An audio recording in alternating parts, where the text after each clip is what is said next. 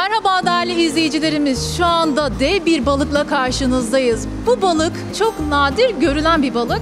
Genellikle yaz aylarında ortaya çıkıyor ve şu anda Kahramanmaraş'ın serin sularında ortaya çıktı. Peki bu balık nasıl temizleniyor? Öncelikle onu çok merak ediyoruz. Neye faydası var? Nasıl pişirilir? Eti sert midir, tatlı mıdır, tuzlu mudur? Bunları e, buraya getiren, satışa sunan beyefendiden küçük bir söyleşiyle öğreneceğiz.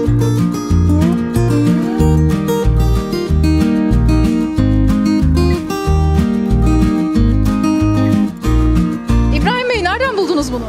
Bu e, bizim barajlarda, Maraş'daki barajlardan geliyor. E, Yaklaşık olarak e, yaz mevsiminde 3 ay 4 ay çıkıyor bol bol. Bol bol mu çıkıyor? Nadir bulunur demişlerdi Yani bizlere. Şey olarak e, mevsim itibariyle mevsimsel çıkan balık. O, o yüzden nadir. O yüzden nadir. E, Yazları çıkar veya baharlarda çıkar. E, Kışın e, o soğuklarda bu balıkları göremezsiniz, büyük balıkları göremezsiniz. Ondan dolayı nadir çıkan diye söylenebilir. Peki nasıl temizleniyor bu balık kafasını atıyorlar mı? Yarısı çöp olur o zaman. Ee, Genelde balığın kafasını atarlar gider ya. Hayır efendim kafası falan atılmıyor bunun. Ne E, yapıyorsunuz? Bu yüzülerek, soyularak aynı kelpetenle böyle hayvan soyar gibi soyularak e, doğranarak gelir. Kafa kısmından da ayrıca kafasına eti çıkar. E, paça dahi yapılabilir. E, Paça. Evet. Bildiğimiz Maraş paça gibi. Yani balık paça Oldukça ilginç. ilginç. E, ondan dolayı her tarafı kullanılır. Bunu atacak yeri sadece derisi ve iç kısmı, iç organları. Onun dışında tüm bir yerleri kullanılır. Peki ad- ismi ne? Ne olarak biliniyor? Yayı, yayın balığı olarak bilinir. Başka? E, kara balık da diyebilirler bazı yöresel olarak ama e, bizim bildiğimiz yayın balığı, et balığı yani. Peki bunu en çok ne olarak nasıl tüketiyorlar?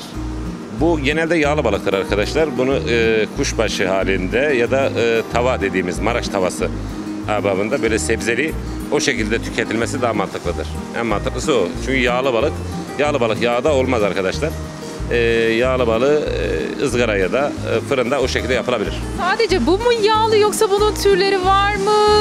Nasıl bir şey? Bize açıklayabilir misiniz? Bunun türleri var. E, bizim Maraş'ta çıkanlar biraz daha yağsız. E, Adıyaman, e, Gölbaşı o taraflarda çıkan balıklar biraz daha yağlıları var bunların. O da suyun soğukluğuna göre değişiyor herhalde. E, bizim Maraş bölgesinde çıkan yayınlar her ne kadar yağlı desek dahi e, Adıyaman'daki yayınlardan daha yavan. Onun için Maraş'taki balıklar daha çok tutuluyor. Maraş'ın suyu serin olduğu için mi? Bir nebze suyu serin olduğu için, suyu soğuk olduğu için diyebiliriz yani. Ondan dolayı diyebiliriz. Ama biz genelde şunu biliriz. Hani su e, balığın kulağına kar suyu kaçtı yağlanır derler ya. Soğuk su olduğu zaman daha yağlı olur diye biliyoruz. Yanlış mı biliyoruz acaba? Tam tersi tatlı sularda öyle bir e, şey yok, şaya yok ama e, bizim bildiğimiz e, yağlılık oranı e, balık ne kadar e, su ne kadar sıcak olursa balık o kadar yağlı olur. Çabuk gelişir, çabuk büyür. Te- bu tezi çürüttünüz. E, Balığın suyuna kar suyu kaçmıyor mu artık? bu tatlı su balığı için, deniz balıkları için tam farklı şeyler. O bizim branşımıza girmiyor ama bir nevi tatlı su bizim branşımıza giriyor. Peki bunun e, sağlık açısından ne gibi faydaları var diğer balıklara nazaran? Bunlardan bir farkı yok ama e, balığın biliyorsunuz beyine sağlık açısından birçok şeye iyi geldiğini doktorlar uzmanlar söylüyor. E, her balık gibi bunu da e, tüm e, vitaminler bu balıkta var. Kimisi boy uzatır, kimisi unutkanlığa iyi gelir. Bunun bir özelliği yok mu? Bu balığın herhangi bir özelliği yok. Bu balıktan Her e, her deva. şeyden deva. e, bu balıktan kuşbaşı olur. Kuşbaşı yani bildiğimiz kuşbaşı bu balıktan olur. Diğer balıklardan olmayabilir ama bu balığın saf et olduğu için kılçık olayı yok. Yemesi rahat, şu çocuk daha rahat yer.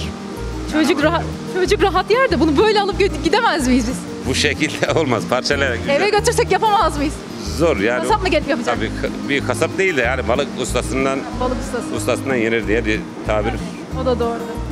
Peki efendim kolay gelsin sizlere. Bundan baş etmek de zordur.